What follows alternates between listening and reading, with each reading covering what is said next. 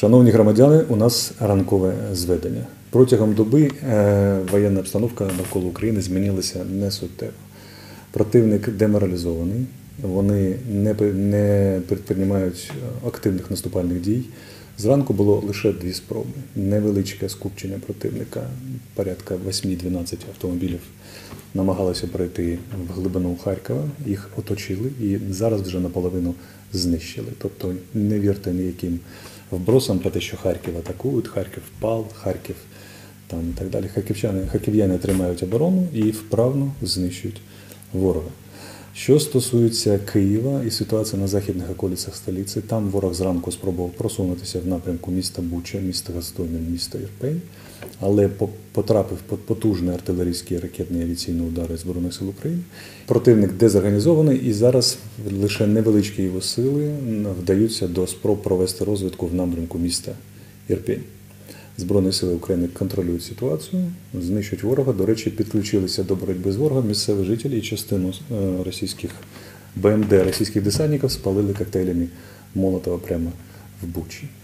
Е, На південному фронті зараз без, без е, нових просувань противника. Не видно просування противника ні ані в напрямок Енергодару, ані Запоріжжя, ані Маріуполя.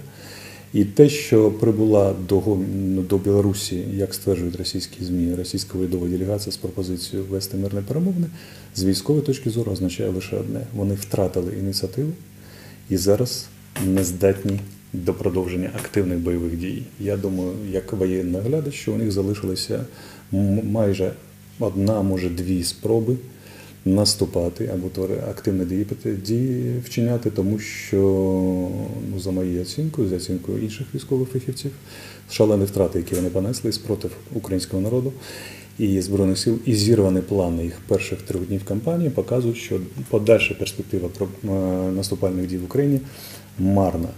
І фактично те, що вони самі вперше пішли на перемовини, вийшли з такою ініціативою, причому в публічному просторі, означає, що вірьовочка там у них трохи розв'язалася, як кажуть боксери.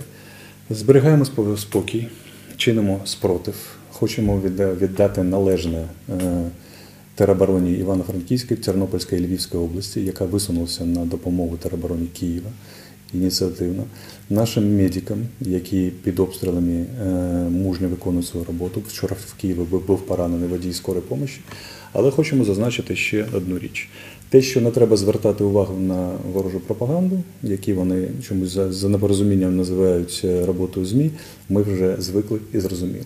Ми зрозуміли, що треба звертатися лише до офіційних українських джерел. Але ж появилася ще одна штука. Наші військові спецслужби зазначають наступне і просять вас звернути увагу на наступне: що сучасна бойова техніка і авіація не наводяться через е, світлові знаки на стовпах або на дорогах.